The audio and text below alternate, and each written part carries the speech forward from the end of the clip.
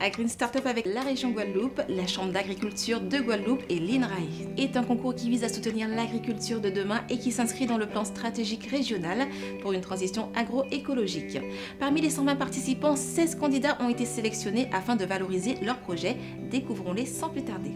Dans la catégorie agro startupper, il y a Juliette Ferdinand et le projet Happy Rhizosphère, Meggy Minacci et Jonathan Chéry qui portent le projet Coco Fiber, Célia Snitambiri-Voutin et Grégory Béhari, projet Eco Green Animal. Frédéric Edinval s'intéresse quant à lui au biochar en Guadeloupe. Dans la catégorie agriculteur, ils sont 8. Ludovic Enel pour le projet Naticulture, Luigi Ibad qui porte le projet du plan à l'assiette, Teddy Passav avec Valocopro, Kenny Bruni pour le projet Recycleban, Loïc Bourdi avec les planches d'Abdon, Régis et Nahuel Tournebise qui amènent le projet Capril, France-Lise Soussin sur Marie-Galante avec le projet Pois d'Ibois et le maïs, et Pascal Bathilde pour le projet de Cressonnière Bois Odé.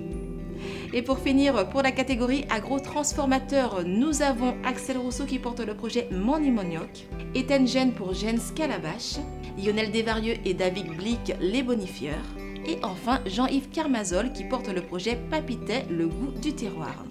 Voilà, n'hésitez pas à soutenir et à encourager les candidats qui œuvrent pour une agriculture engagée et responsable. Suivez l'actualité sur les réseaux sociaux. À bientôt.